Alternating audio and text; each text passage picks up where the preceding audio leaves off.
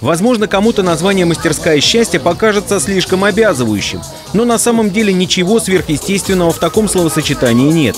Активити и забавы на свежем воздухе рассчитаны главным образом на детей, а дети – самые благодарные участники любых спортивно-игровых мероприятий. Сегодня в нашем районе э, очень хороший праздник.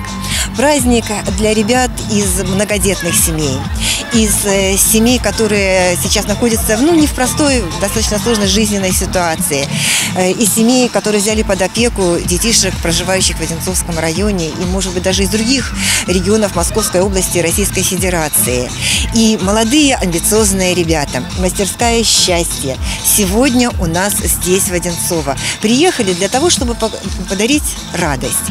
Радость общения. На празднике для детей работало четыре станции, связанных с разными странами мира. Россия, Япония, Франция и пиратский Карибский бассейн представили участникам свою культуру, традиции и обычаи. Вместе со спортивными упражнениями ребятам были предложены и творческие занятия.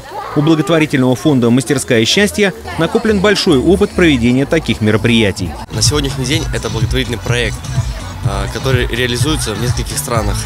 Основная команда находится в России, это 16 регионов, а, и основная все-таки базируется в Москве.